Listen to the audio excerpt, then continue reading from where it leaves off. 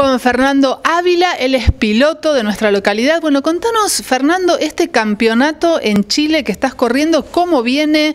Eh, ¿Cuáles son tus expectativas? Bueno, te cuento. Eh, estamos corriendo en la Unión, en Vegas de Quilacó, se llama el autódromo. Eh, es un campeonato que tiene 10 fechas, de las cuales se han corrido dos.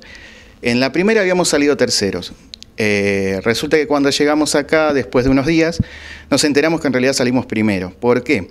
Son dos mangas. La primera manga habíamos salido cuartos y la segunda manga habíamos salido segundos.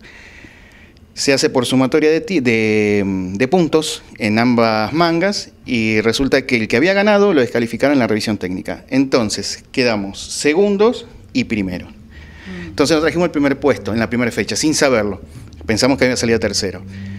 Y la segunda fecha eh, salimos eh, primeros en la primera manga, como la segunda manga se hace grilla invertida que llega primero, larga último, vinimos recuperando, tuvimos una pequeña falla, pero quedamos cuartos. llegamos a estar segundos y llegamos cuartos. Así que venimos bastante bien, la expectativa es ir a divertirnos siempre con, esa idea. Tenemos Chori Rizo, que es el que me está haciendo los motores, Magalí, que es mi mujer que me acompaña. Eh, y bueno, y tenemos muchos amigos en Chile que la verdad que están ayudando para que nosotros podamos ir a correr. Bueno, ¿estás conforme con este resultado?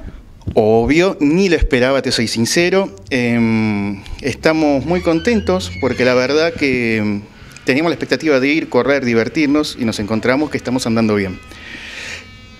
Veremos qué es lo que pasa acá a fin de año, vamos a tratar de ir a todas las fechas, es una época complicada, pero bueno, estamos tratando de hacer todo lo posible para poder participar en el campeonato. Fernando, ¿cómo entrena un piloto? Mira, nosotros, eh, bueno, como sabés, el entrenamiento nuestro es poco en el sentido del auto de carrera. Manejo no podemos decir nada porque nos dedicamos al tema de transporte. Somos transportistas hace más de, de 15 años. Eh, y bueno, el entrenamiento del auto es, lamentablemente nos queda lejos ir a correr a Chile, así que vamos y probamos el día de la carrera. La verdad que estamos eh, dando una ventaja al no probar, nada de eso. Pero estamos contentos con los resultados. La verdad que la expectativa que teníamos era mucho menor y estamos mucho más arriba de nuestras expectativas. ¿De ahora más qué se viene? Y de ahora más tratar de hacer todo el campeonato, eh, ver hasta dónde se llega, tratar de traer el mejor resultado y divertirse, porque es nuestro cable a tierra. Aunque parezca mentira, por más que trabajemos todo el día manejando, es nuestro cable a tierra. Bueno, además de los agradecimientos, por supuesto, a tu mujer que siempre te acompaña, Magalí, decinos a quién más querés agradecer. Bueno, mira, en principio al Chori Rizo, que es el preparador del, auto, a Nico, a Mati, a Pepe, que son los chicos que ayudan eventualmente en el, auto de carreras, que son chicos de acá, eh, a Gastón, que me está ayudando con el tema de la preparación física ahora, que nos estamos poniendo ahora las pilas una vez que le agarró uno el gusto.